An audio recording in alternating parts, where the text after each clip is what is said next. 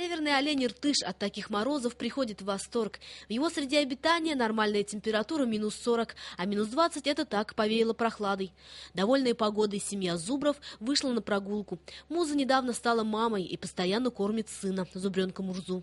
Чувствует себя хорошо и чита верблюдов. Двугорбым что холод, что жара. Они обросли густой шерстью и низких температур не боятся. Единственное, рискуют поправиться. Из-за морозов в зоопарке расширили рацион и увеличили порции. Главное, чтобы их э, побольше кормили, потому что зимой мы всегда увеличиваем рацион питания наших питомцев где-то на четверть. Вот. Э, что касается копытных, то зимой им не даются сочные корма, потому что они очень быстро замерзают. А э, в рационе становится больше сена, зерновых, комбинированных кормов. Из-за аномально низких температур в зоопарке даже отменили празднование Дня сурка. По легенде, 2 февраля при выходе из домика, если зверек увидит свою тень и ее испугается, то зима затянется надолго. Но в этом году нижегородцы остались без прогноза от сурка-метеоролога Олеси.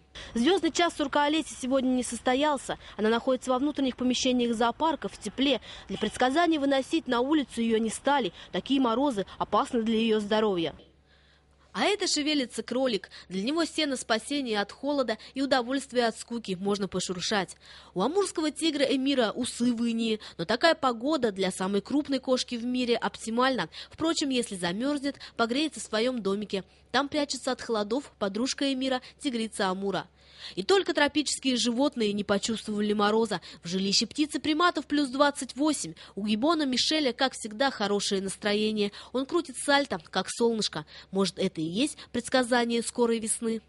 Ксения Доринова, Михаил Городников. Объективно. ННТВ.